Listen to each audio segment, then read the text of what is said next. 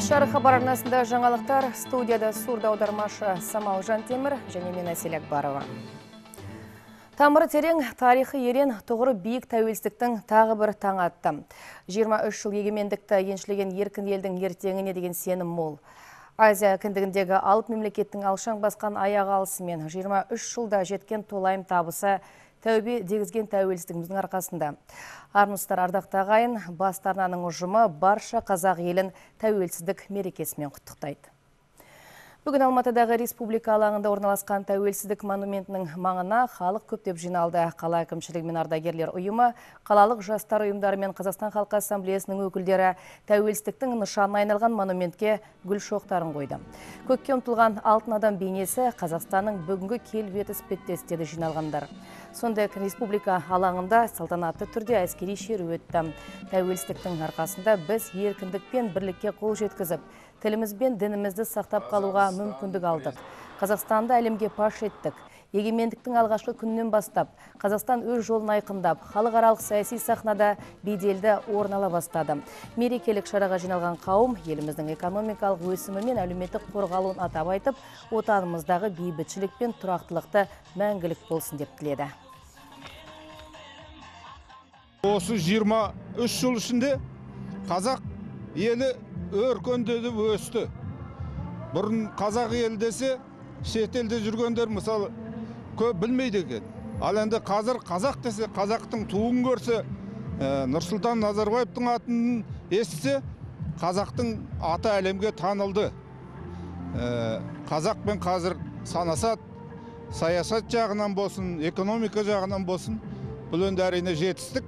Бүгін ауа райының өзі бізге шуағын шашып тұр нұрын шашып тұр деп айтуға болады. Өйткені тәуелсіз қазақстанның бүгінде 20 жылдық тарихынан астам тарихы бар. Тәуелсіздікке жеткенімізге және де 140-тан астам ұлт өкілдері осындай бір шаңырақтың астында тату да тәтті өмір сүруі ол әрине елбасымыздың салиқалы саясатының арқасында және де біздер осы күнге дейін қандай дәрежеге жеттік неге жеттік? Біз тәуелсіз мықты мемлекет болдық. Бүгін осы тәуелсіздік күнінің қадір қасиетін ұрпақтардың санасына сіңіру үшін отбасымызбен осы алаңға келіп отырмыз. Тәуелсіздік монументінің алдына келіп тәуелсіздіктің қалай келгендігі туралы еске алып енді елбасы айтып жатыр кеше жолдауында тәуелсіздікті алу бір мәселе бұны сақтап қалу үлкен міндет деп. Енді осы тәуелсіздікті сақтап қалуға бәріміз атсалысуымыз керек.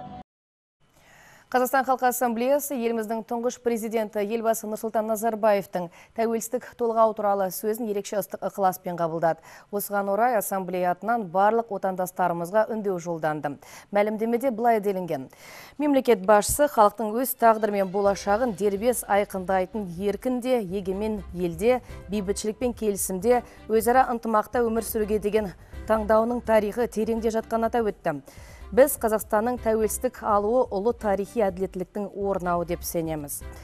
Сондай қазақстан жазушылар одағы өкілдері мемлекет басшысының тәуелсіздіктің 23 жылдығына арналған салтанатты жиналыста сөйлеген сөзінде айтқан идеяларын толық қолдайтынын жеткізді. Тәуелсіздік халқымыздың басты құндылығы елбасының барлық қазақстандықтарды тәуелсіз қазақстанның игілігі көркеуі үшін еңбек етуге қоғамымыздың жалпы құндылықтарын бейбітшілікті келісім мен бірлікті бағалауға және нығайтуға ұлттық дәстүрлерімізді сақтауға және дамытуға шақыратындығы сондықтан. Ал Қазақстан тарихшылары конгресінің өкілдері мектептердің, колледждер мен жоғарғы оқу орындарының білім беру бағдарламаларына елбасының ұлтқа үндеу тастаған тәуелсіздік туралы толғауларын міндетті оқытуды енгізуді ұсынды. Елбасы тәуелсіздік философиясының іргелі негіздерін ауқымды етіп белгілеп берді. Олар жалпыға ортақ еңбек, даналық, толеранттылық және халықтың бірлігі, тарихы мен мәдениетінің Қазақстанның барлық этностарын толық құрмете отырып мемлекеттік тілінің бірегейлігі. Бұл негіздерді мектеп жасынан бастап Қазақстан Республикасының әрбір азаматының білуі маңызды. Қазақстан тәуелсіздігінің 23 жылдығына орай Лондонда мемлекеттік қабылдау өтті. Мерекелік шараны Қазақстанның Британиядағы елшілігі ұйымдастырды. Тәуелсіздік күніне арналған мемлекеттік қабылдауға жылдағы дәстүрге сай саясаткерлер ғалымдар кәсіпкерлер өнер иелері мен әлемдік бақ өкілдері жиналды. Қазақстанның ең басты жетістігі 23 жылда мемлекет болып қалыптасуында. Бұл ел бүкіл әлемге танымал болды. Алда да талай жетістіктер күтіп тұрғанына сенімдімін. Қазақстан мен британия арасындағы іскерлік байланыс жыл санап артуда. Екі ел арасындағы тауар айналым былтыр 2 миллиард ақш долларына өсті. Бүгінде тек мұнай газ саласында екі мемлекеттің бірлескен 500-ден астам кәсіпорны жұмыс істейді. Мен алматыдан жақында ғана келдім. Біз қазақстан қор биржасымен бірлесіп бірқатар іс шара өткіздік. Бұл ел батыс мемлекеттері үшін стратегиялық тұрғыда ең тұрақты әрі сенімді серіктес. Соңғы жылдары қазақстан ұлыбританияның орталық азиядағы сенімді серігіне айналғаны туралы көп айтылып жүр. Бүгінде барлық сала бойынша екі жақта әріптестік орнаған. Ал британия премьер министрінің өткен жаздағы қазақстанға сапары екі елдің қарым қатынасын жаңа деңгейге көтерді. Бұдан бөлек болашақ бағдарламасы бойынша тұманды альбионда бір жарым мың қазақстандық оқуда. Осы елдегі дипломатиялық өкілдіктің басшысы ержан қазықановтың айтуынша болашақта екі елдің арасындағы достық көпірді осы жастар одан әрі жалғастырмақ. Достық талғатұлы олжас керейхан белла құдайбергенова лондон ұлыбритания. Ұлық мерекеде бүлдіршіндерге де тарту жасалды. Ақтөбе облысының Мұғалжар ауданында 320 орындық балабақша ашылды. Аудан орталығы Қандағаш қаласы жыл санап өсіп келеді. Жаңадан бой көтерген Самал шағын ауданына балабақшаның қажеттілігі әлдеқашан туындаған еді. Соңғы үлгіде салынған ғимарат толық жабдықталған. Балаға мектепке дейінгі білім мен тәрбие беру үшін бар жағдай жасалып отыр. Тек самалдық бүлдіршіндер емес, көршілес орналасқан болашақ шағын ауданынан да балалар қабылданатын болады. Мұнда балғындарды балабақшамен қамту көрсеткіші 87 пайызға жетті. Жалпы облыста алдағы 3 жылда 26 балабақша ашылмақ. Оның жетеуі республикалық бюджеттен қаржыландырылады. Және жаңадан 10 мектеп салынады. нұрлы жол болашаққа бағыт бағдарламасы оның алғашқы ә, сатысы біздің осы қандыағаш қаласында молжар ауданында іске асырып тұр деп ә, қуанышпен айтамыз құрылысты республикалық бюджеттің ә, қаражат есебінен салынды. Жалпы құны 478 миллион теңгеге салынған. Батыс Қазақстан облысында достық фестивалі қорытындыланды. Тәуелсіздік күні аясында ұйымдастырылған бұл шараға Ақжайық өңіріндегі ең үздік деген 16 шығармашылық ұжым қатысты. Олардың қатарында хор, бишілер тобы, жекелген орындаушылар, ұлт аспаптар ансамбльдер бар. Достық фестивалі биыл 15 рет өтуде. Батыс Қазақстандықтарды осы мерейтойлық шарамен құттықтау үшін Ресейдің Самар облысынан Ясный Сокол ансамблі келді. Ал Батыс Қазақстан облысының Шыңғырлау аудандағы Сударушка ансамблі концертке қазақ әндерін дайындапты. Бұл шығармашылық ұжымның құрылғанына биыл 15 жыл толды. Орыс мәдениеті мен дәстүр насихаттауды мақсат еткен шығармашылық ұжымның орындаушылары қазақ әндерін шырқау арқылы мемлекеттік тілді үйреніп жүргендерін айтуда. Нурсултан Абишевич Назарбаев еще раз подчеркнул, как Мемлекет басшысы Нұрсұлтан Әбішұлы Назарбаев еліміздің болашағы жарқын болу үшін бір мақсат, бір мүдде жолында бәріміздің жұмыла жұмыс істей білуіміз керек екенін үнемі айтып келеді. Барша қазақстандықтарды тәуелсіздік күнімен құттықтаймын. Халықтың әл ауқаты, мемлекетіміздің абырой беделі арта берсін. Президент алдымызға қойған міндеттерді дұрыс атқара білсек, түрлі кедергілерден сүрінбей өтетіндігімізге мен сенімдімін. Тәуелсіздік күнінің алдында осындай біз қорытынды шығарып елдің дәстүрін сақтауда өзіміздің өнерімізді көрсетуде ә, творчестволық жұмыстарды соның бәрін біріктіріп осындай фестиваль жасап жатыр соның бәрі елдің дамуына халықтың достығына өзінің бір себептігін тигізеді. Тәуелсіздік халқымыздың дәстүрлі өнерінің қайта жандануына жол ашты. Белгілі күйші, өнертанушы, Қазақстанға еңбегі сіңген қайраткер. Құрманғазы атындағы Қазақ ұлттық консерваториясының профессоры Білал Ысқақов мерейтойлық концертін осы сөзбен ашты. Қасиеті домбыраға тіл бітірген дүлдүл күйшінің өнерін Дана Бақтығали тамашалап қайтты.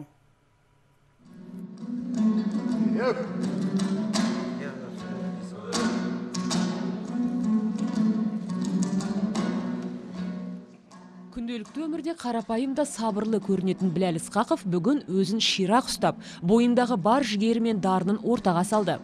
Юнеско күйді адамзаттың ең құнды мәдениет ескерткіші деп таныды. Мен үшін бұл үлкен қуаныш деп ағынан жарылды алпыстың асуына шыққан жігіт ағасы. Күйді қазақ киелі өнер дейді. Сондықтан мен ә, қазіргі жастарға айтар едім осы күйді күйден алшақ кетпеу керек. Өзіміздің ұлттық санамызды сақтап қалу үшін алдымен өнерімізді сақтау керек. Тіліміз осы өнеріміз күйіміз сол тілмен бірге тұру керек. Бес жасынан ұстаған қара домбыра шертпе күйдің атасы тәттімбет сүгірлерден бастап төлеген момбеков сынды біртуар күйшілердің мұрасын күмбірлетті. Арғатасы тәттімбетті көрген өзі ұлы күйшінің немересінен талай күй үйренген біләл алпанұлы арқа жетісу өңірі күйшілерінің батасын алған. Енді міне өзі де киелі аспаптың қыр сырын меңгерем деген ұлты кәріс якут орыс шәкірттеріне дәріс береді. Төлеген момбековтың жанында үйінде жатып сол кісінің жанында жүріп тұрып жаңағы жа- ертеңді кеш өзінің әңгімесін тыңдап күйін тыңдап сол кісінің мына күй өнерінің бағыттары туралы үлкен еңбектер жазды. Оның ішінде мынау ә, ә, тәттімбет күйлерін зерттегені сарыарқа күйлері одан кейін мына қаратау күй мектебінің жаңа өкілдері сүгірдің ә, төлегеннің күйлерін зерттеп оны нотаға түсіріп ол қазір мына мектептерде музыка оқу орындарында оқытылып жатыр. Біләл ысқақовтың жиырмаға жуық еңбегі өскелең ұрпаққа баға жетпес мұра. Тіпті бүгінгі концерттің өзі халық жадында сақталып жарыққа шықпаған тың дүниелерден құралды. Сондай ақ бұл кеште әрқайсысы өзіндік бағытта дамыған маңғыстау алтай тарбағатай сыр өңірінің және өзге де дәстүрлі мектептердің күйлері орындалды. Домбырашының елеулі еңбегі ескерусіз қалмады. Мерейтойға орайластырып біләл алпанұлына қазақстанның еңбегі сіңген қайраткері атағы берілді.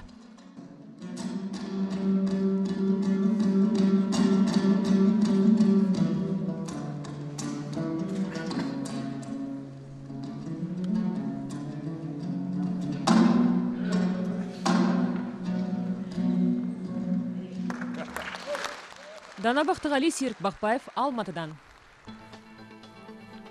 Әзірге осы еске сала кетейін жаңалықтарымызды хабар арнасының сайтынан да таба аласыздар. Тәуелсіздік күні құтты болсын эфирде кешкі сағат 8-де қайта жүздесеміз.